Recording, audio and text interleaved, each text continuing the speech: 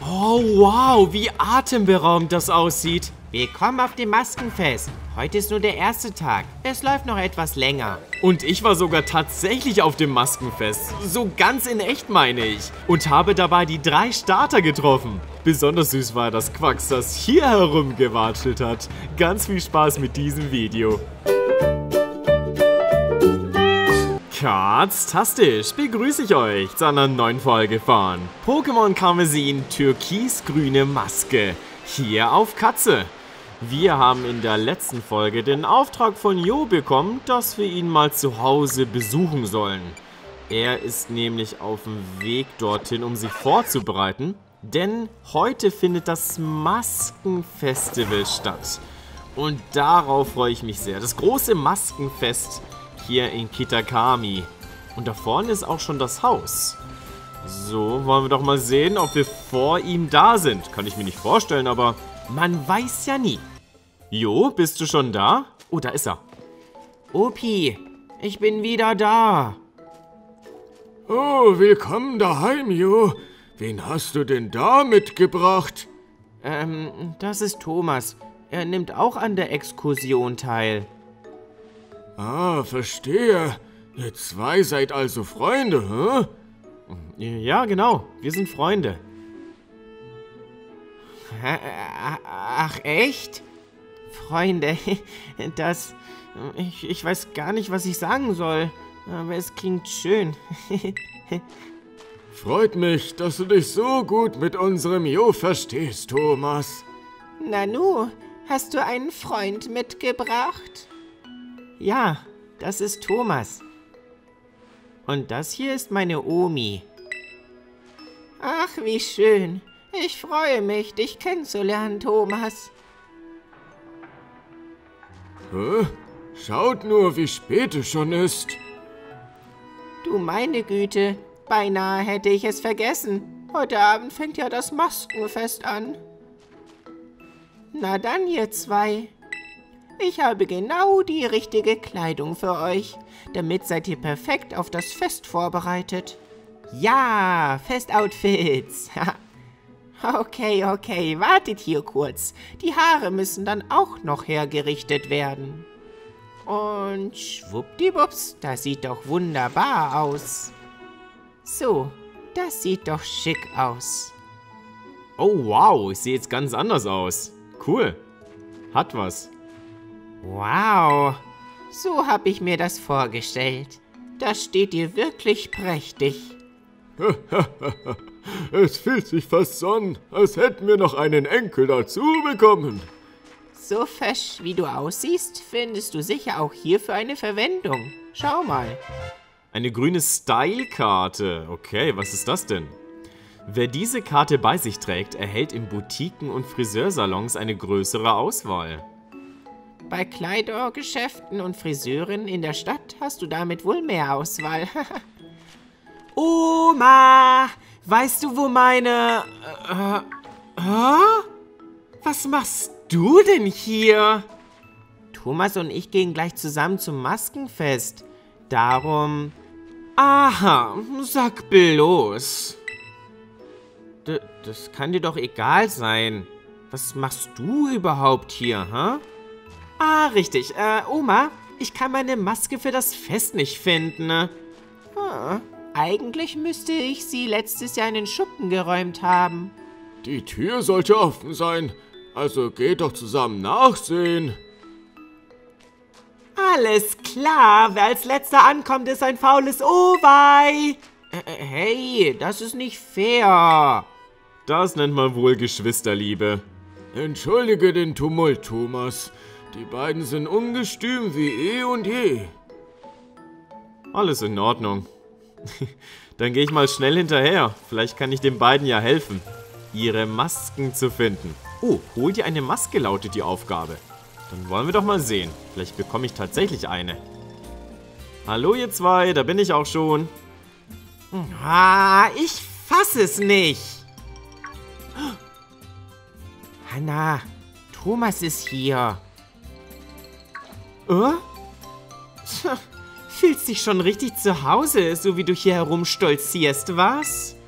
Im Schuppen waren jedenfalls nur zwei Masken.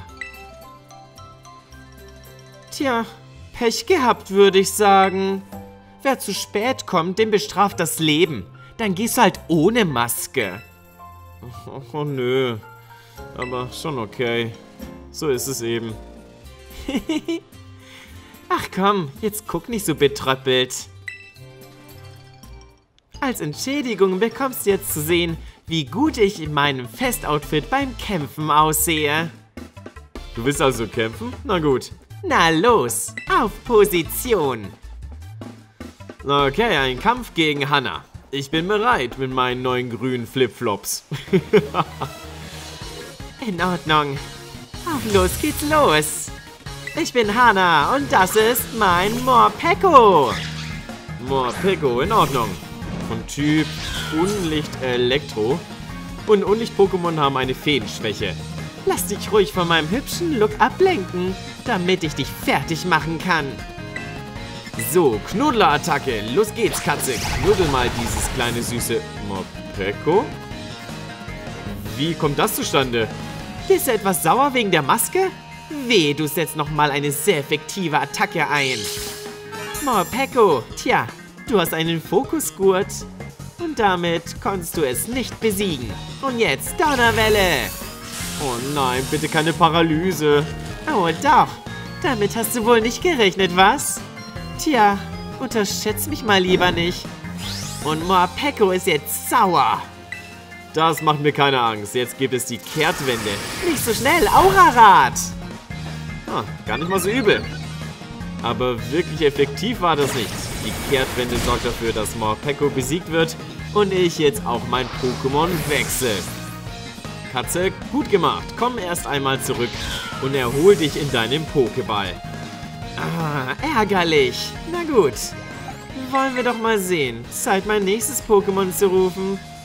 Okay, ich starte erstmal mit Dragoran, mit unserem Jona. Und hier kommt Fala... Was? Falalicha? Fatalicha meine ich. Fatalicha, was auch immer das ist. Oh, okay. Nochmal so ein Matcha-Pokémon. Ist es die Entwicklung oder die Vorentwicklung oder was genau ist das? Zumindest hat es jetzt einen Bambusbesen in der Tasse. Also damit man das ähm, schön aufschäumen kann. Ja, ich sehe schon ein reines Paralyse-Team, oder? Du sagst es, Schmarotzer-Attacke. Oh, das war stärker als ich dachte. Eisenschädel. Und damit besiege ich Fatalicha. Wie kommt man auf den Namen Fatalicha? Naja, wie auch immer. So, jetzt kommt noch ein Magnarien. Und da bleibe ich doch mal im Kampf und versuche es anschließend einer Drachenattacke. Okay, Magnarien, du bist definitiv schneller als dieser olle Drache. Hey, unterschätzt niemals einen Dragoran. Jaula! Erhöhe deinen Angriff, damit wir Dragoran besiegen können. Jetzt gibt es den Wutanfall von Dragoran und das besiegt Magnarien. Was? Das kann doch nicht wahr sein. Ach, Herr Jemine. Naja, so schnell geben wir nicht auf, denn ich habe noch ein Ass im Ärmel. Ich werde dich trotzdem platt machen und es mir dann auf dem Fest so richtig gut gehen lassen. Los geht's, Folikon. Ach so, das ist Folikon. Folikon hat eine richtig coole Weiterentwicklung. Das ist Pflanzenkäfer-Pokémon aus Schwarz-Weiß, wenn mich nicht alles täuscht. Ziemlich cooles Pokémon hatte ich damals bei meinem ersten Durchlauf. Durchlauch. Durchlauf ebenfalls. So, jetzt, ähm, Drago. Okay, Käfer gebrummt. Nicht sonderlich stark, aber interessant. Und jetzt, sobald ich nicht mehr verwirrt bin, komme ich zum Zug und attackiere mit... Ja, es kommt durch. Wutanfall. Oh nein, Folikon! Das darf doch wohl nicht wahr sein. Oh, erhol dich erst einmal in deinem Pokéball. Das gibt's doch nicht. Oh Mensch. Hey, lass dich gefälligst von meinem Anblick verzaubern, ja? Hm, Ja, ich versuch's beim nächsten Mal. Ah, nun gut. Ach, mir auch egal. Ist ja nicht so, als müsste ich dir jetzt dafür meine Maske geben. Nichts da. Dann setze ich sie gleich mal auf. Und schwuppdiwupps. Hey, das sieht echt cool aus. Na, sieht gut aus, oder? Ach, ich gebe dir einfach meine Maske, Thomas. Auf keinen Fall! Wer zu spät kommt, dem bestraft das Leben. Schon vergessen? Außerdem ist dir deine Unimaske doch unheimlich wichtig, oder etwa nicht? Schon, aber... Thomas kann sich auf dem Fest auch einfach eine eigene Maske kaufen, okay? Mach dir nicht so einen Kopf. Also dann, auf geht's! Und zack, weg ist sie. Tut mir leid, Thomas. Meine Schwester nimmt echt kein Blatt vor den Mund. Aber sie hat auch wie verrückt nach der Maske für dich gesucht, bis du zum Schuppen kamst. Sie wollte wirklich nicht, dass du leer ausgehst. Aber erzähl ihr bloß nicht, dass ich dir das verraten habe, okay? Keine Sorge. Aber dann scheint sie doch ganz lieb zu sein. Das Maskenfest findet beim Kulturzentrum statt. W wollen wir los? Ich gehe schon mal ein paar Schritte vor, ja? Äh, warte, wir können doch zusammen gehen. Oder wir gehen getrennt. Begib dich zum Maskenfest. Ja, am Kulturzentrum. Da waren wir bereits in der letzten Folge. Daher wissen wir ganz genau, wie wir da hinkommen. Das ist ein Katzensprung für uns. Oder sagt man in dem, Fall ein Koraidon-Sprung? Spaß beiseite. Jedenfalls ist es nicht so weit weg. Pfad des Tanzes. Auch hier waren wir bereits. Und wir dürfen hier einmal um diesen kleinen Berg herumlaufen. Oder, so wie ich das jetzt mache, ich laufe einmal quer. Und erreiche damit noch schneller das Kulturzentrum. Oh, ich sehe gerade rechts unten auf der Karte, wir hätten auch dahin fliegen können. Naja, wir sind ja jetzt schon in wenigen Sekunden da, deswegen ist es egal, ob man dahin läuft oder aber mittels Karte dorthin fliegt. Und damit hätten wir es geschafft. Kitakami Kulturzentrum. Hier findet das Fest statt. Oh, wow, wie schön. Schaut euch das mal an. Wie schön das alles geschmückt ist und die ganzen Stände. Oh, und die Musik.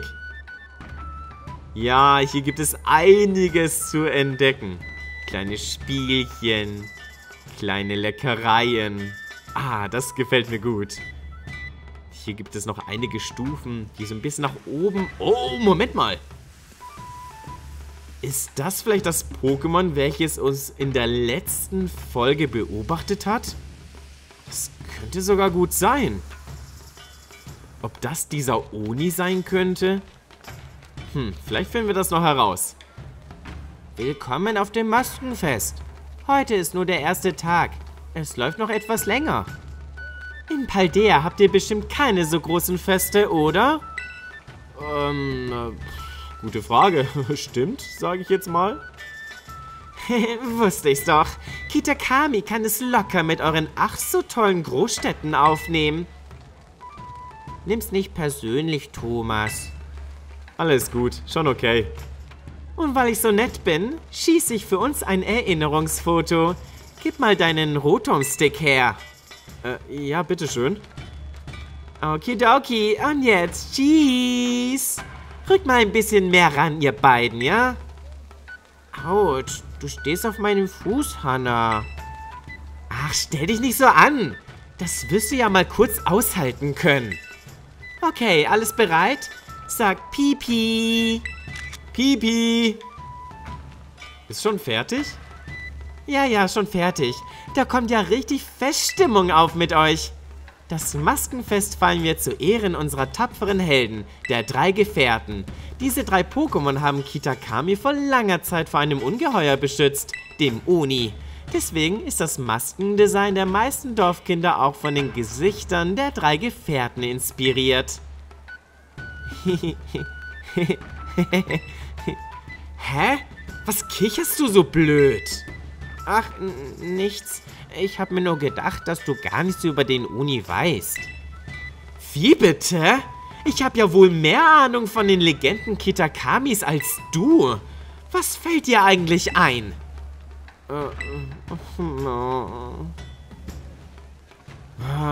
Aber ist ja klar, dass ein Baby wie er eher von den Bösewichten beeindruckt ist.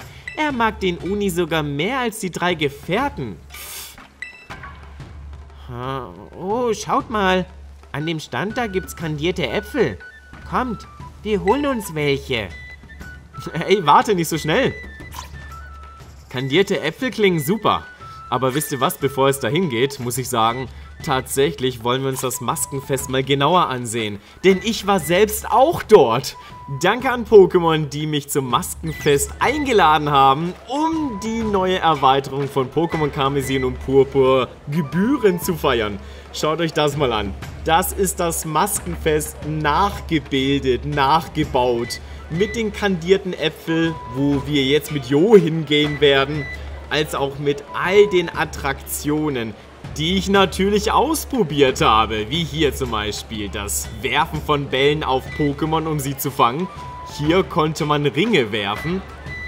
Trifft man alle Pokémon, kann man sie alle fangen? Oder was haltet ihr hiervon? Die kleinen süßen Sushi-Pokémon catchen. Sehr, sehr toll in Szene gesetzt mit vielen Attraktionen. Und hier seht ihr mich schon, wie ich gerade am Angeln bin. Das tolle Sushi-Pokémon hatten wir ja auch im Team. Ihr, erinnert euch bestimmt daran.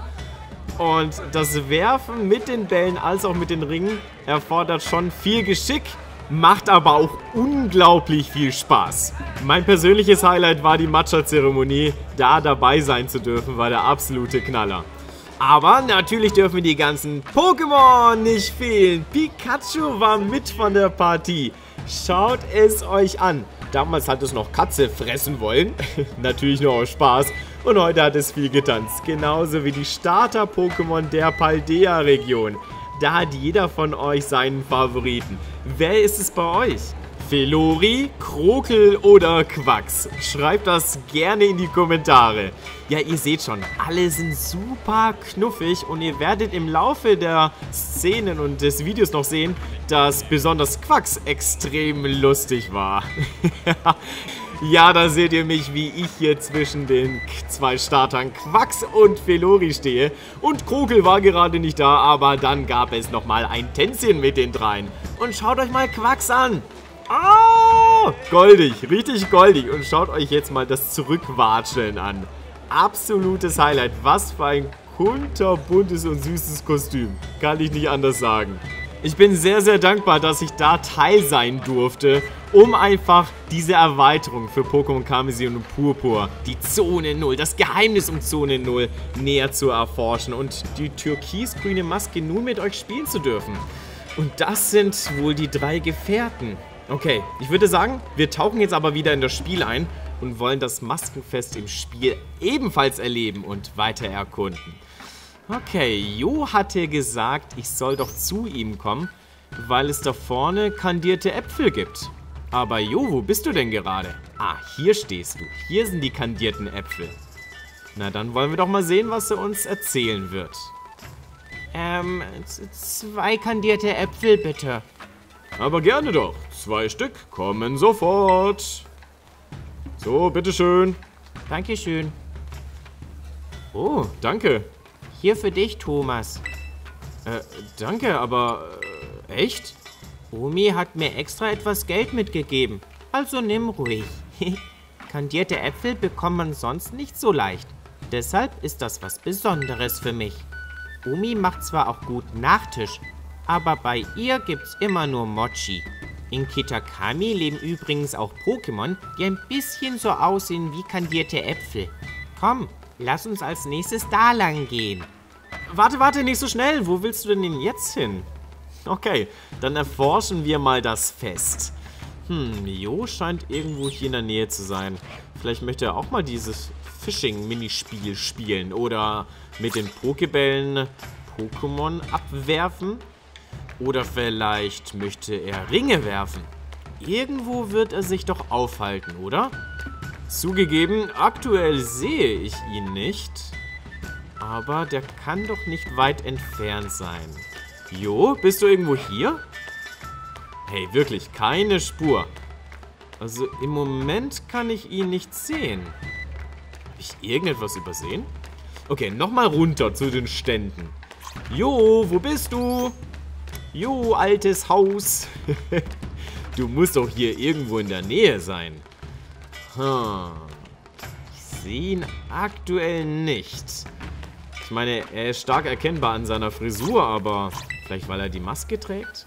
Hm, so richtig salzig gebratene Nudeln versetzen mich sofort in Feststimmung. Das ist toll, Hannah. Ich frage mich allerdings, wo Jo ist. Oh, ja, schau dir erstmal in Ruhe das Maskenfest an. Solange wir hier sind, sollten wir nicht einfach gehen, das ist ja klar. Hier gibt's Splittereis mit so viel Sirup, wie du nur möchtest. Oh, Splittereis, okay. Warum nicht? Das können wir uns doch auch mal gönnen. Splittereis mit Zitronensirup. Okay, Splittereis für das gesamte Pokémon-Team. Kommt sofort. Ich hoffe, Koraidon mag das auch. Es ist zwar kein Sandwich, aber hoffentlich mindestens genauso lecker. Oh, Splittereis. Oh, ich liebe es. Ja, wunderbar. sehr schön, sehr, sehr toll. Raidkraft für Käfer und vieles mehr gesteigert. Gut, Kandierte Äpfel, genau, hier gibt es Nudeln. Aber das funktioniert so ähnlich wie gerade mit dem Splittereis. Das heißt, ich kann mir hier tatsächlich Nudeln kaufen, um mein gesamtes Pokémon-Team zu füttern, um dann die Fangchancen oder die Fangkraft zu erhöhen und ja, kleine Besonderheiten auszufüllen. So, und hier gibt es ja die kandierten Äpfel. Das ist auch ganz nett, aber da habe ich ja schon einen bekommen von lieben Jo. Hier gibt es Eis. Und hier Sirup bis zum Umfallen. Das sind die Stände hier. Alles klar. Hier steht der Jo auch nicht. Mensch, Jo, was ist denn los? Wo hast du dich verkrümelt, mein Kleiner? Jo, wo steckst du? Moment, wer, wer bist du denn? Das Uni-Austreibungsspiel ist im vollen Gange. Mach doch mit, es warten tolle Preise auf dich. Oh, da ist Jo, oder? Doch, das ist er. Doch, endlich habe ich dich gefunden. Hallihallo, Hallöchen! Herzlich willkommen beim Uni-Austreibungsspiel. Möchtest du teilnehmen? Äh, ja, warum nicht? Hey, Moment mal. Du bist doch eines der Kinder aus Paldea, oder? Ach, weißt du was? Dann brauchst du für deine Teilnahme auch nichts zu zahlen. Sieh es als ein Willkommensgeschenk an. Versuch ruhig dein Glück. Ich äh, feuer dich an. Aus der Ferne. Okay, Jo. Na sowas. Nimmst du etwa am Uni-Austreibungsspiel teil?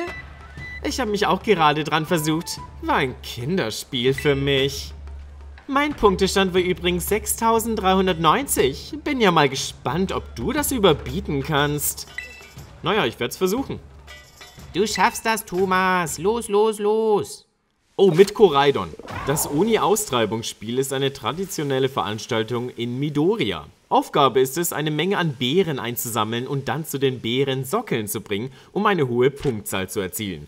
Auf dem Spielgelände gibt es Ballonis, genannte Ballons in vier Farben. In jedem einzelnen befindet sich eine Beere, die du erhältst, indem du den Balloni zum Platzen bringst. In der Basis befinden sich vier unterschiedlich gefärbte Beerensockel. Auf ihnen kannst du durch Drücken des A-Knopfes Beeren mit passender Farbe ablegen. Das Spiel ist zu Ende, sobald du die erforderliche Anzahl an Beeren auf den Sockeln platziert hast. Manchmal erscheinen gefräßige Pokémon an den Beerensockeln und versuchen, deine angesammelten Beeren zu vernaschen.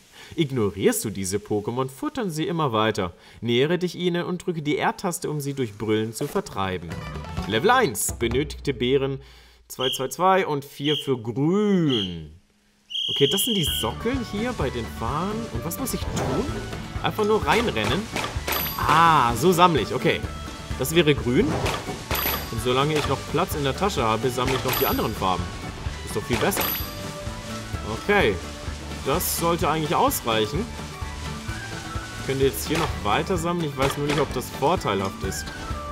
Aber solange ich noch Platz in der Tasche habe, ist es doch in Ordnung, oder? Und dann sollen wir zu den Sockeln. Wo sind die denn nochmal? Da oben, oder?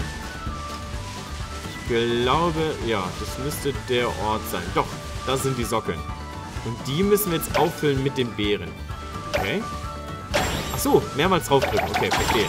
So, hier und noch die schwarzen Beeren. Abgeschlossen. Das war einfach. 2, 4, 2 und 2. Vorbereitet. Ach so, Level 2. Okay, es geht noch weiter. 5, 5, 4 und 6. Na gut. Dann laufen wir gleich los und sammeln wieder fleißig Beeren ein. 5 hiervon. So, ja. Von den schwarzen brauche ich noch eine Beere. Noch zwei grüne.